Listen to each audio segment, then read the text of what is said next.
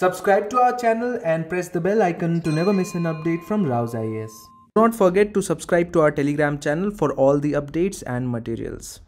Hello and welcome to Daily News Simplified, an answer to what, why, and how of newspaper analysis from the perspective of civil services examination. Since today is Sunday edition of Daily News Simplified, we have taken all those important news which have appeared in the explained section of Indian Express on the first week of August and today is the Hindu newspaper.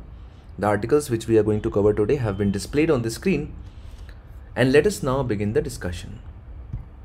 So the first article which we have taken is from today's The Hindu.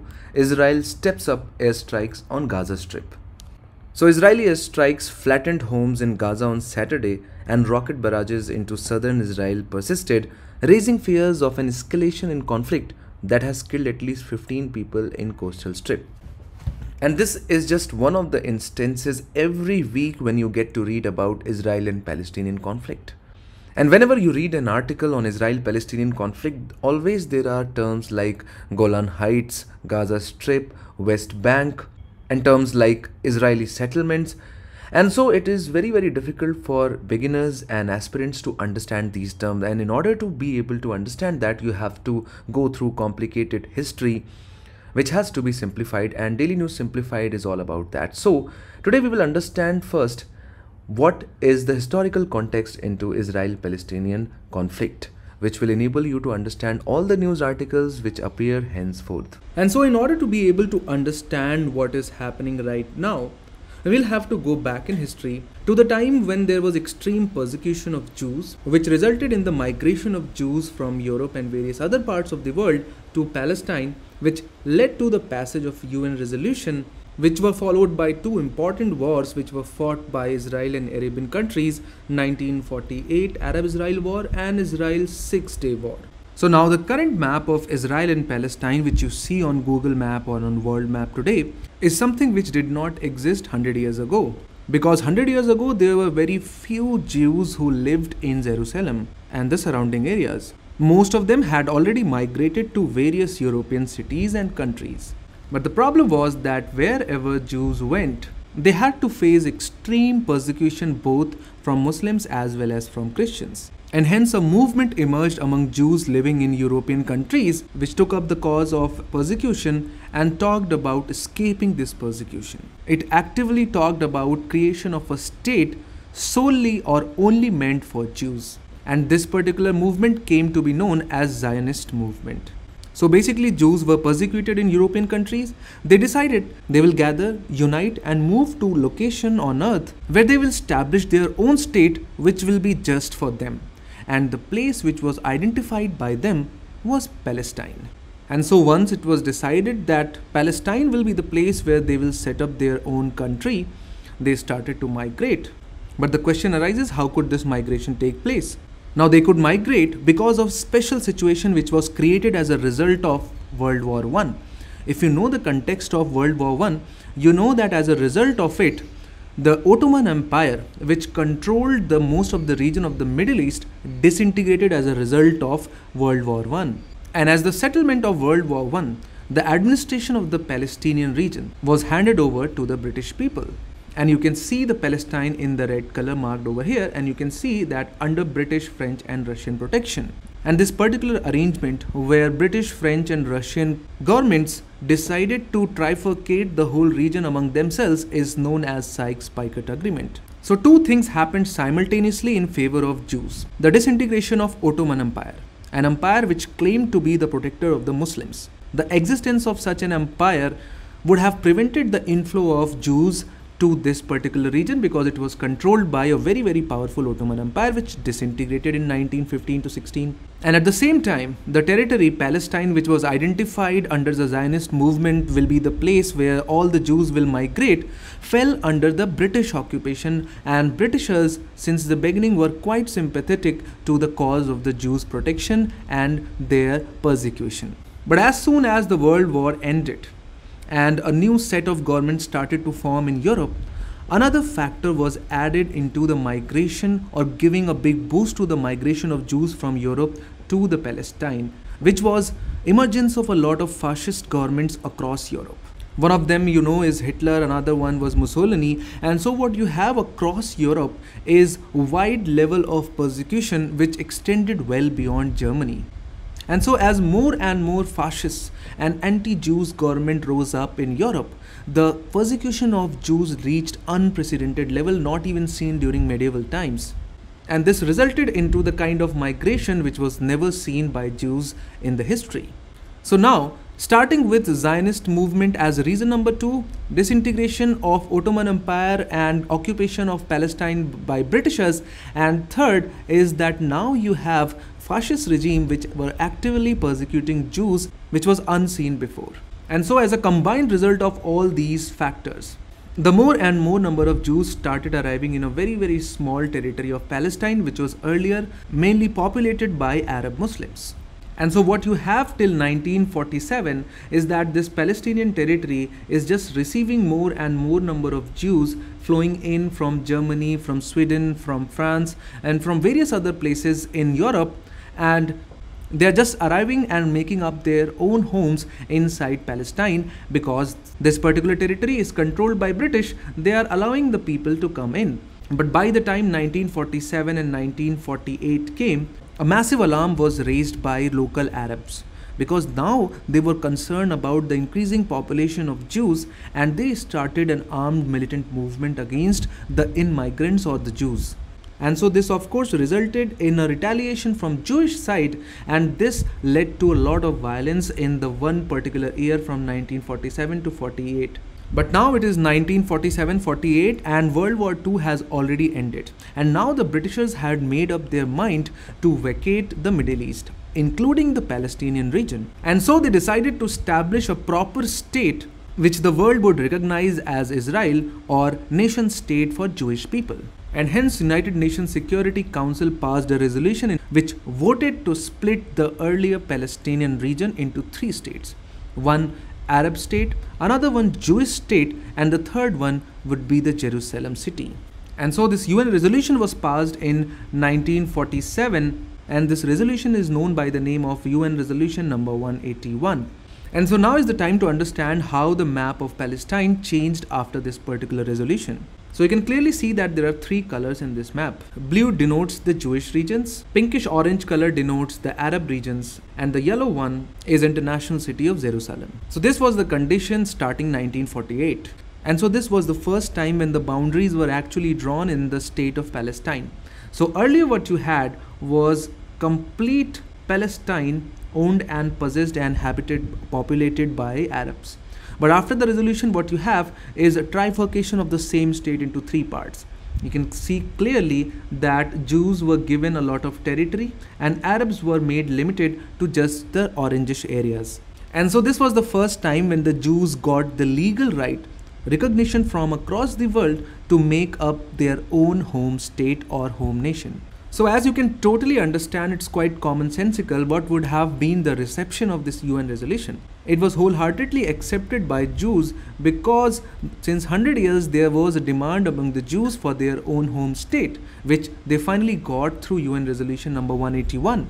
But as far as Arabs are concerned, they completely rejected the UN resolution.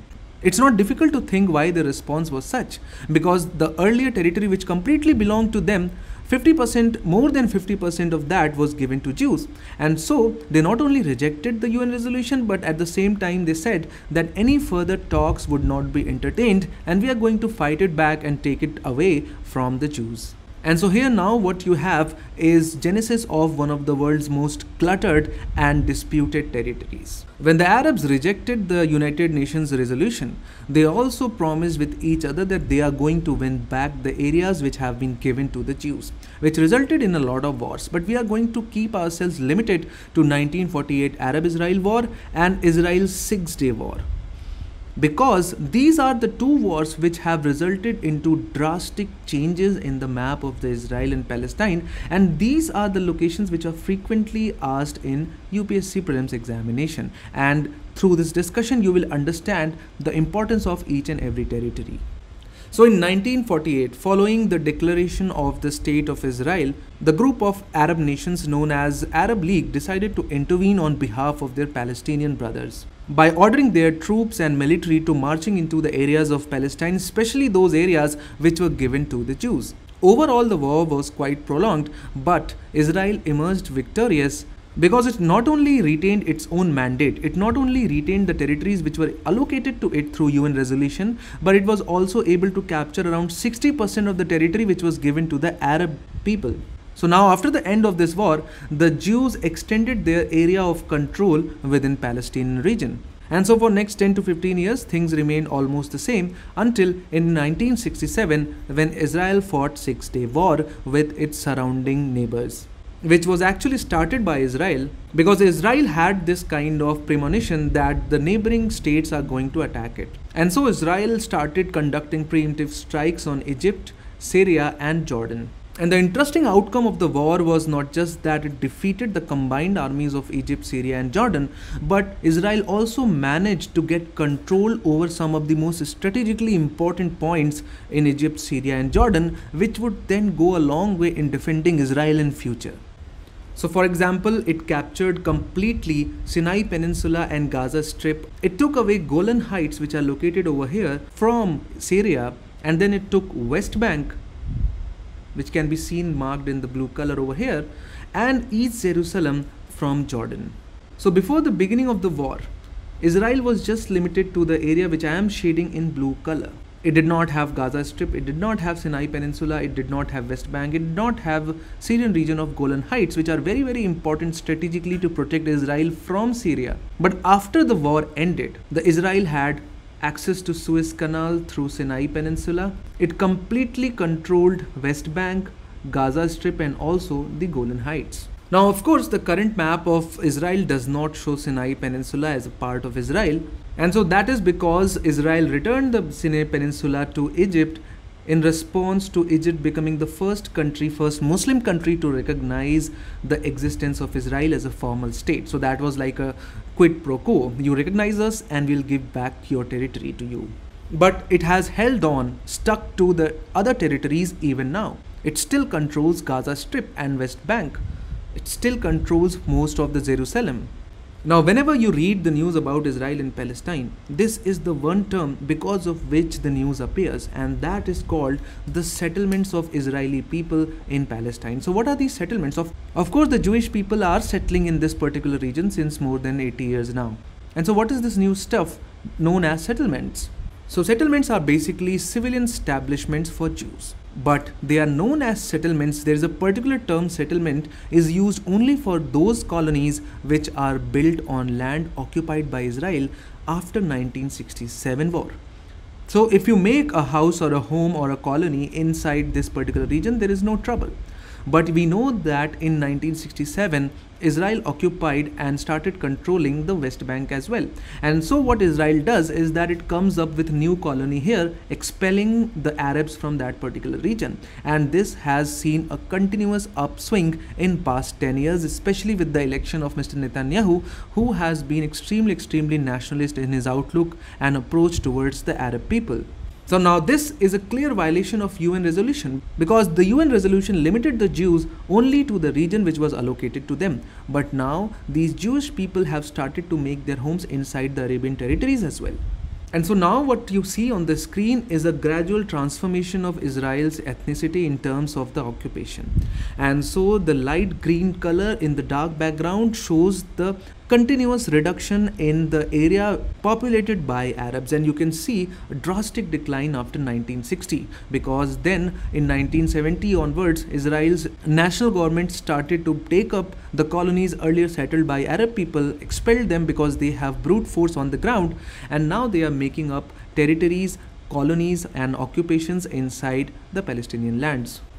So these settlements have led to a lot of violence in this particular region. So that is the reason number one because of which we hear the news related to Israel and Palestine. Now the reason because of which in last 10 days Israel has appeared in the newspaper is because of the clashes taking place at Al-Aqsa Mosque, which is the third holiest site in Islam. And it sits on a plateau which is also the holiest site for Jews, who refer to it as the Temple Mount because it was the location of biblical temples. Romans destroyed the second temple in 70 AD with only the western wall remains. and the mosque was of course built much later. And so what you have right now, Al-Aqsa Mosque, and then you have a wall which is the holiest site for Jews. And in recent years, groups of religious and nationalist Jews escorted by Israeli police have started to visit the compound or this campus in greater numbers and they have started to hold prayers in defiance of the rules which was signed in 1967. Now Palestinians view the frequent visit by Israelis as an attempt to ignite violence. The Palestinian view is that more and more Israelis will start visiting and they will eventually take over the control over their one of the holiest mosque across the world which is the Al-Aqsa Mosque which is also one of the only few places still not controlled by the Israeli people because this particular location containing both Al-Aqsa Mosque and the wall is under the custody of neighboring country Jordan. The site is open to tourists during certain times but only Muslims are allowed to pray there and the western wall is the holiest site where the Jews can pray. And now since the Jewish police has started to visit this particular region, the Palestinians and the Arabs are now increasingly concerned about the increasing control of the Israel on their holiest site. The next article which we have taken had appeared in the explained section in Indian Express last week. What is carbon market and why does India want to create one? So the government has brought a bill to amend a 20 year old law, the Energy Conservation Act. And this article discusses the most significant provisions of the bill, which is about creation of domestic carbon market. Now from the perspective of GS paper 3 environment section, Conservation, environmental pollution and degradation, environment impact assessment is a part of your syllabus. And one of the most significant and important ways in which we have to fight the climate change is about climate action. And within climate action, we have two of the options available, either mitigation or adaptation. Mitigation is about reducing the greenhouse gases emission into the atmosphere Whereas adaptation is about realizing that a significant climate change and global warming has already taken place and the impact of this will be felt for a very long time and hence we need to adapt in order to survive. Now within mitigation there are a lot of strategies under which carbon market is one of the strategies. So let's first understand what carbon market and how is it conceptualized under Paris climate deal and then we will discuss the provisions of this particular bill. Now, market and non-market mechanisms have been provided in the Article 6 of the Paris Climate Deal. And Article 6 deals with mitigation of climate change, which means reduction in the impact which the greenhouse gases are making by reducing the greenhouse gas emissions. So if you have understood the Paris Climate Deal, you know that countries all across the world have promised to cut down their greenhouse gas emissions and those emission cuts are known by NDCs or nationally determined contributions which can be seen in orange color boxes here. So if country A has promised NDC of this much amount, which means that country A is going to cut down its greenhouse gases emission by this much amount. And similarly, the country B has also promised to cut down the emissions more than country A as you can see. But let's say after 10 years, country A has been able to perform better and it was able to cut down more than what it promised. As you can see, this much amount extra has been cut down in countries A's emissions because of its efforts. Whereas country B took some efforts but its emission cuts were not as great as it promised and hence Country B is far away from its target. But since Paris climate deal is binding, which means that if you have promised this much amount of emission cut, you need to attain that by a certain year, country B needs to take some steps. And hence, what market mechanism does is that it provides for the transfer of these carbon credits, which means the extra efforts which you have put from one country to that of another. So as you can see, country A's effort has been shown with the green color indicating the right action, whereas the country's B effort has been shown to be with the red color, which means deficit of action. So what market mechanism does is that it provides for the transfer of these credits from one country to another so that each country meets its own targets at the same time some countries can earn the revenue out of it. So as you can see, country A has transferred its extra credit to country B. In the target year, country A has its target and achievement balanced and the country B at the same time has its targets and achievements balanced. Now it was expected that the rules for this transfer of the credits and the pricing on which this transfer shall be carried out will be finalized. But there was no agreement on that. Now since the focus of this video is on answer writing, we shall not go into details of such transfers. But to understand all these concepts in a greater detail, you can watch our QIP program or you can watch our DNS videos to understand the finer details of these concepts. But the bottom line is that there was no agreement on market and non-market mechanisms dealt in Article 6 of Paris Climate Deal. Now next important concept is enhanced action. Now enhanced action means that whatever you have promised, you need to step up your efforts. Because if we take into account the nationally determined contributions of all the countries, those efforts will not be enough to contain the climate change within 1.5 degrees Celsius. So to illustrate this, we have taken a graph from IPCC website, which shows on the y-axis the temperature change from pre-industrial level and on the x-axis we have time. And as you can see in 2017, the global warming was already 1 degree more than pre-industrial level and our target is to contain it within 1.5 degrees Celsius. So you can see that we only have 0.5 degrees Celsius of space left. So if we extrapolate the temperature change, keeping into account the current level of emissions, we are going to have more than 3 to 4 degrees Celsius of temperature change by the end of 2100, which means after 80 years. But if we take into account the actions which the governments have promised across the world and if we assume that they are able to abide by those actions, then the temperature change will be less than 3 to 4 degrees Celsius but again, that will not be enough to restrict the temperature change below 1.5 degrees Celsius, as you can see with this yellow line. And hence, in order to limit the temperature change below 1.5 degrees Celsius, which is the line shown in the black color, all the countries across the world are needed to ramp up their NDCs or they need to increase their commitment to climate action and that is enhanced action and it was believed that at Madrid there will be some agreement or at least some consensus on how to approach this enhanced action. But a lot of countries including China and India did not agree to any aspect of enhanced action citing the examples of developed countries because what China and India believe is that first all the countries should at least come clean on whatever they have promised and then we can talk about increasing the commitments. But there are other issues as well and again they have been discussed in detail in our QIP videos as well as in our DNS.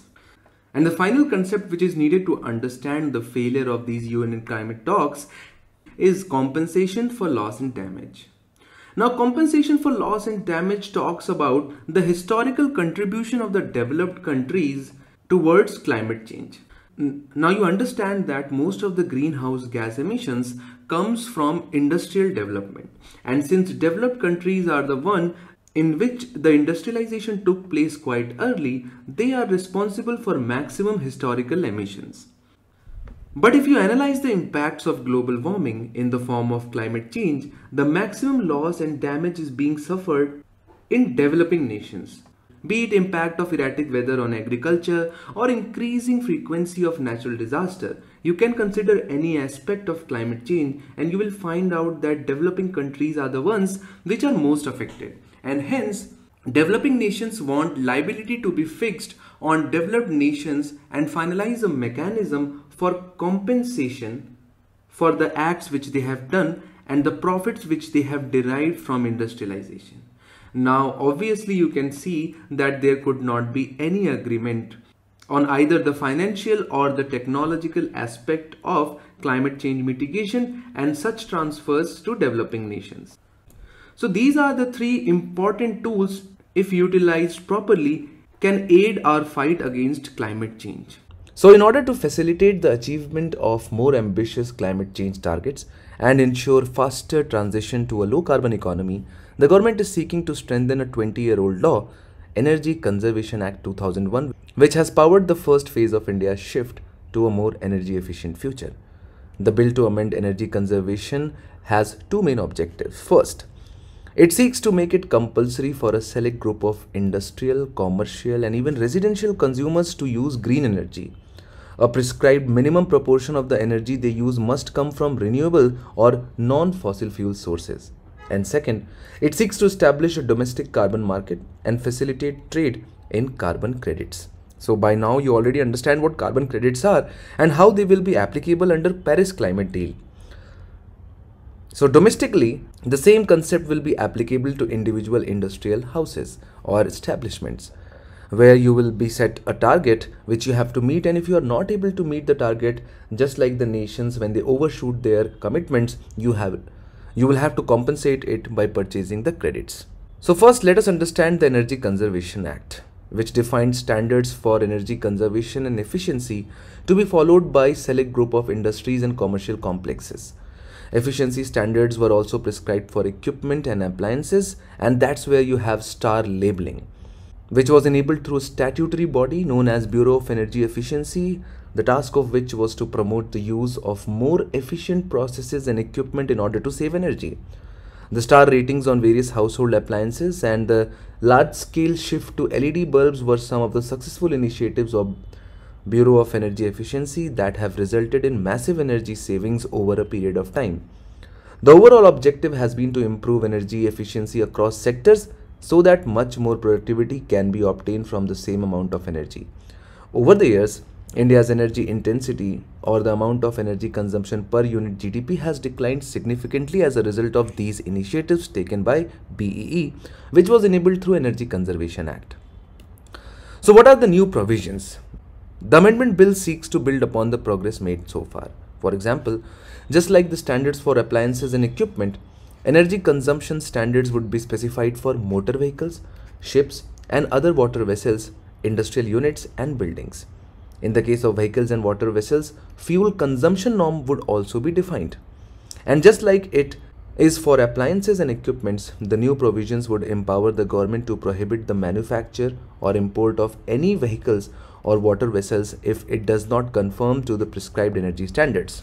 New sustainable building codes are to be defined which every building with a certain threshold of energy consumption whether industrial, commercial or residential would have to adhere to. Every such building would have to ensure that at least a part of its total energy consumption comes from renewable or non fossil fuel sources. This would help in reducing the proportion of fossil fuel based energy being used in the economy and push the demand for renewable or other non fossil fuels. Now coming on to the creation of domestic carbon markets. The creation of domestic carbon market is one of the most significant provisions of the proposed amendment bill. Carbon markets allow the trade of carbon credits with the overall objective of bringing down emissions. These markets create incentives to reduce emissions or improve energy efficiency. For example, an industrial unit which outperforms the emission standards stands to gain credits.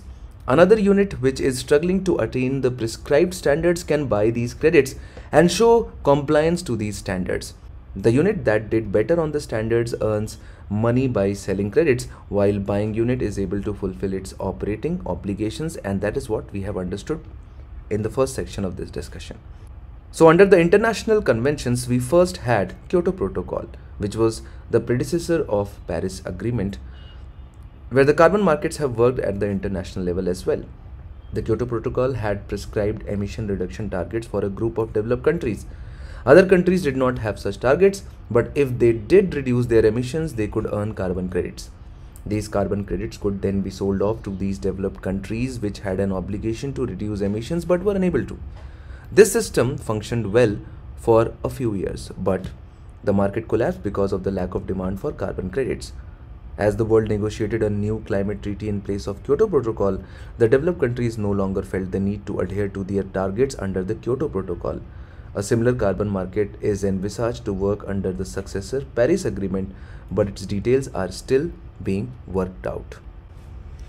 So, what can be some of the global examples of well functioning carbon credit markets or carbon markets? So, domestic or regional carbon markets are already functioning in several places, most notably in Europe, where an emission trading scheme or ETS works on similar principles. Industrial units in Europe have prescribed emission standards which they have to adhere to, and they buy and sell credits based on their performance. Surprisingly, China too has a domestic carbon market. A similar scheme for incentivizing energy efficiency has been running in India for over a decade now, which is known as PAT or Perform, Achieve and Trade, which allows units to earn efficiency certificates if they outperform the prescribed efficiency standards. The laggards can buy these certificates to continue operating. The next article which we have taken has appeared in today's Science and Technology page in the Hindu newspaper. Why strengthening genomic surveillance is an imperative. So the article basically talks about improving and strengthening genomic surveillance and why is it of utmost importance as of now, especially in the backdrop of COVID-19 pandemic and the next emerging pandemic which is monkeypox. Now basics regarding monkeypox has already been taken in our DNS earlier. And so we are going to keep ourselves limited just to the points raised in this particular article. Where the author talks about the emergence of monkeypox in 1970 where the virus was first reported. However, until very recently, monkeypox virus infections have been largely restricted to countries in Central and Eastern Africa.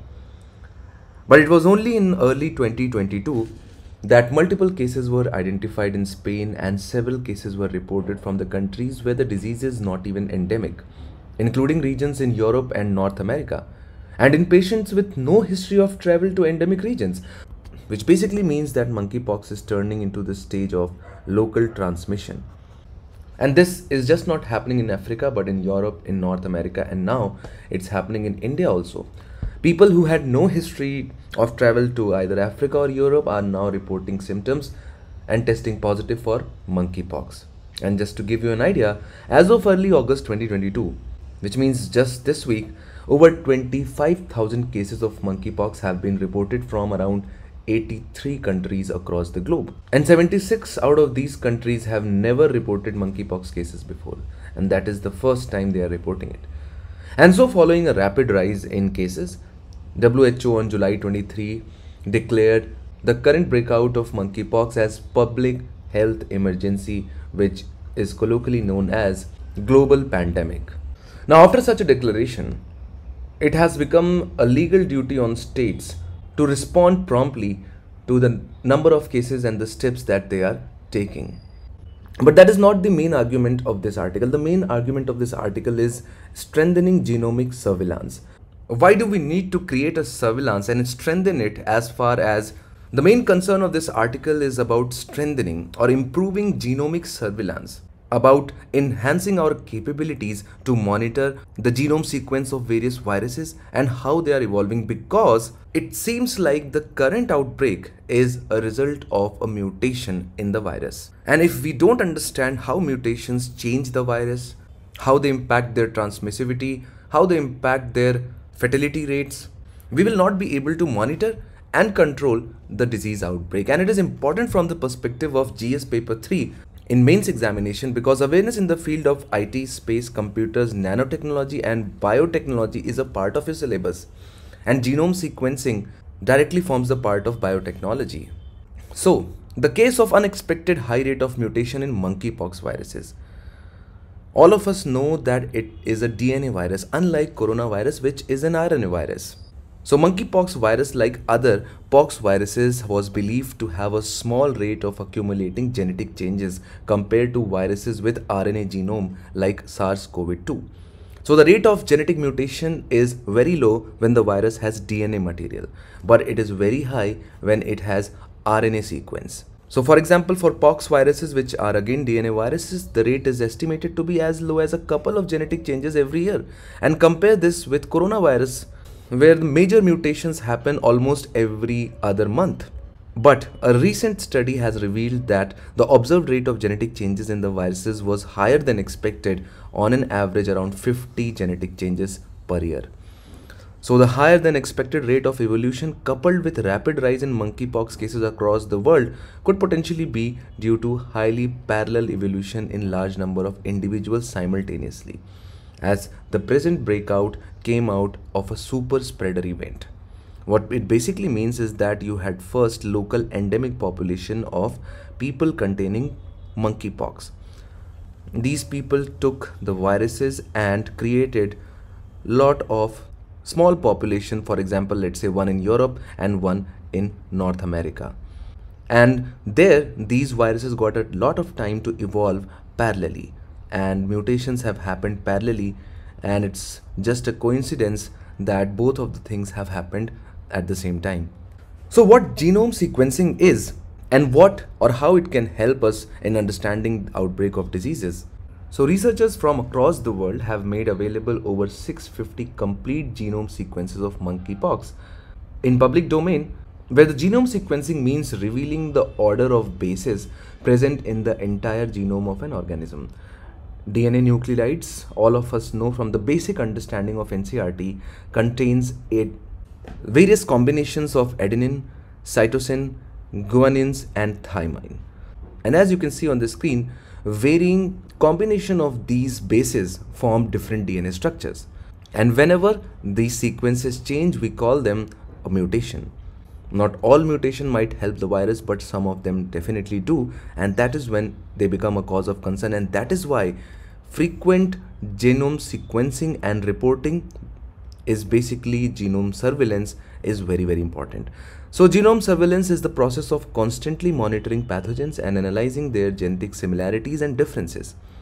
Genomic surveillance of pathogens could provide unique insights into understanding the outbreak better, understanding the evolution much more accurately. So whenever there will be a major change in the base sequences, you will immediately know it. Track the spread of the pathogens. So unless and until we carry out the genome sequences of coronavirus, we would not know which of the strain has spread into which of the regions. Then also, it can be extremely helpful to support vaccine development for emerging infectious diseases. Because unless and until we know the exact genome sequence, we would not be able to create the formula for the vaccine. It can provide immense opportunities for public health decision making as well as for epidemiology. The prevalence of different lineages of viruses across different regions is something which has been a cause of concern.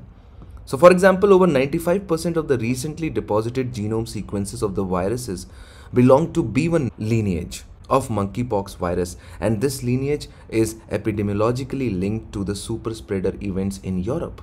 And that's how we know that Europe became the main spreading point from where the virus has spread across the globe and facing the current global pandemic.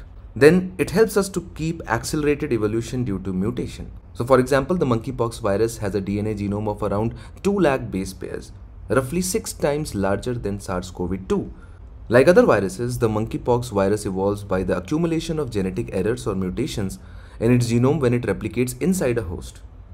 Information about mutations occurring in different genome sequences of the monkeypox virus across different regions can thus provide essential insights into how the virus is evolving, its genetic diversity, and other factors that may be relevant to the development of diagnostic tools and finally, genetic surveillance of pathogen provides interesting insights by following a molecular approach for contact tracing and understanding the transmission of the viruses across the world.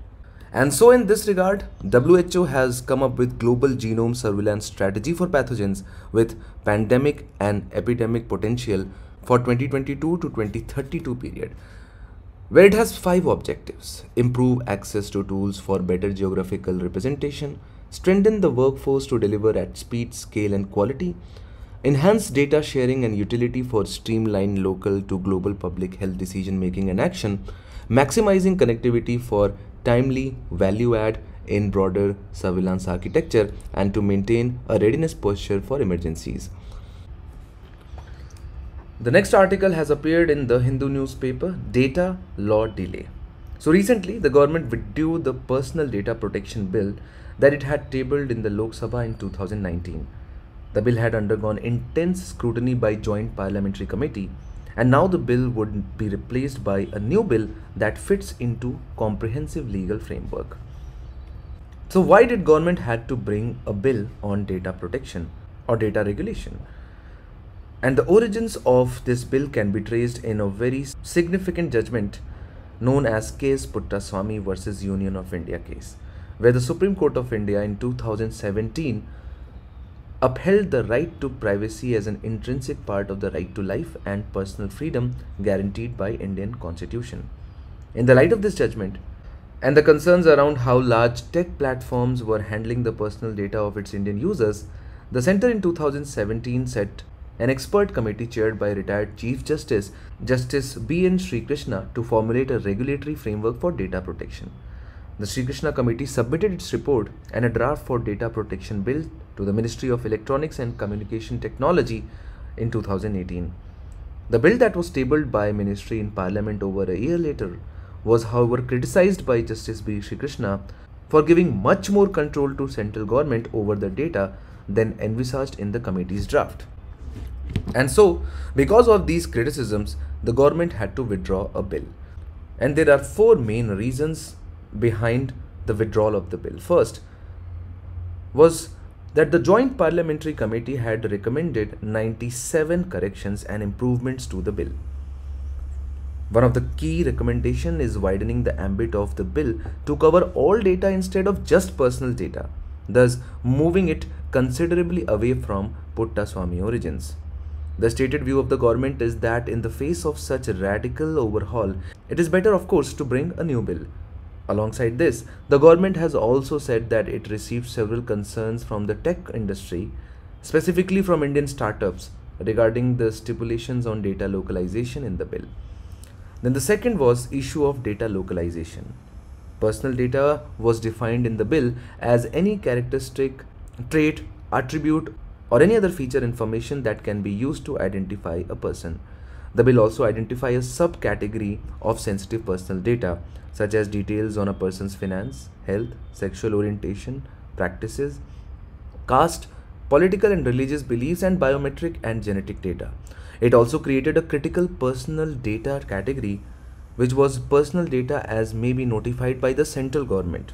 The bill stated that while sensitive personal data can be transferred abroad for processing, a copy of it must be kept in India. Critical personal data can be stored and processed only in India. It also stipulates the condition under which sensitive data can be sent abroad, such as government authorized contracts. Several countries have such localization provisions considering the strategic and commercial implications of the data as the new oil. However, businesses both big and small, international and local have issues with such localization clauses. Then a lot of concerns were raised by the tech industry. Indian startups have raised the issue that the infrastructure needed to comply with the localization stipulations will be a huge drain on their resources. Startups also often depend on international companies for services such as customer management, analytics, and marketing, which will require them to send data on their customers abroad. Data localization requirements would not only reduce their choices on such services but also burden them with compliance processes. The compliance requirements have implications for the larger US based tech companies as well, with reports indicating that umbrella organizations of US like Alphabet, which controls Google, and their businesses were lobbying against the bill. And then finally implications on and finally implications on social media platforms. One of the Joint Parliamentary Committee recommendation would also have been of particular concern for social media companies as it sought to move them from category of online intermediaries to content publishers, thus making them responsible for the posts they host. And so if the bill was passed, Facebook, Twitter and Instagram could be held accountable and liable for inflammatory and derogatory posts. And so because of these concerns, the government had to withdraw the bill. Now it still remains to be seen whether the government comes up with a new bill where all these issues are addressed or most of these issues are addressed and whether it will be acceptable to all the stakeholders or not.